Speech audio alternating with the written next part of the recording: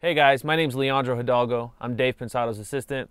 Uh, Dave was working on this song by Italian producers Max and Alessandro, and uh, he was worried about the groove. He wanted the groove to uh, move a little more, and uh, there were a couple loops that had some really interesting um, parts in them that we wanted to kind of pull away from the loop. Overall, Dave liked the level of all the loops, but we wanted the shaker to be a little more predominant. So I came up, I came up with this idea. Uh, pretty simple. Um, the focus of this one is really just to show different uses for you know plugins. Just because the plugin's supposed to be a de-esser doesn't necessarily mean that you have to use it as a de-esser. I'll show you what I mean. So here's the track, basically the drum loop. So what we did was we went ahead and duplicated this track. Now as you hear that there is a shaker in that track, and uh, we wanted to go ahead and pull that, that shaker out a little more to give it a better groove. So I came up with the idea of using the Oxford suppressor and with the Oxford suppressor it has the option to hear quote unquote the inside of the range that you set it for.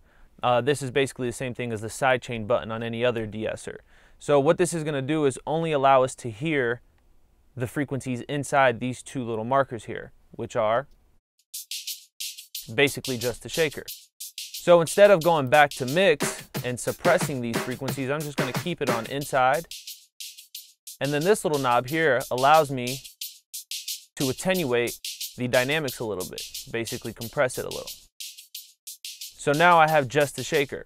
Perfect, so here's an example of it working the track. Rather than going back to the mix, I'm just gonna keep it on inside and I'm gonna show you how um, I'm just using it to bring a little more shaker in to the overall mix.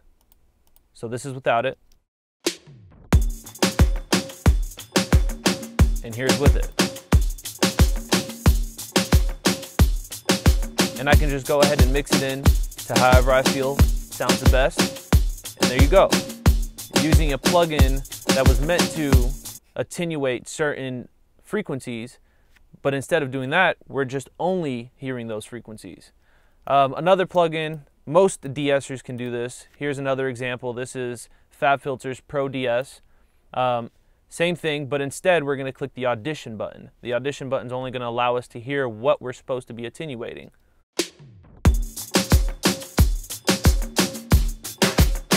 Here's the track with the audition on. There's only the shaker. And I can do the same thing, adjust the threshold, attenuate the dynamics a little bit, compress it, and mix it back into the track.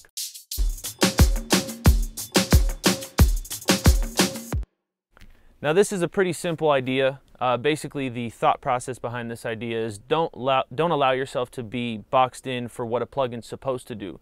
Use the plugin for you know its maximum capacity. If it allows you to keep it under audition, then keep it under audition um, you know, use it to your advantage. There's so many different ways that we can use so many different plugins, but we're so boxed in with the theory that we forget to, you know, just be a little creative with them. I hope that helps, and we'll see you next time.